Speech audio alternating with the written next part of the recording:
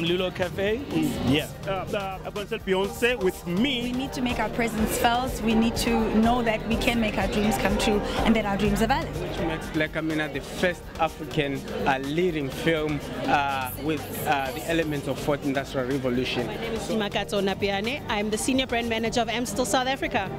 It's very exciting. Uh, first of all, I'm on the breakfast show, Lesedi FM, from half past six until seven, Monday to Friday. We're very excited uh, to yet again um, provide this platform. Kwala Kwala FM. Ma nigga. Wo- uthini ke mna kethu? This is your boy Singaliner from Singaliner Online Magazine. Thanks for tuning in.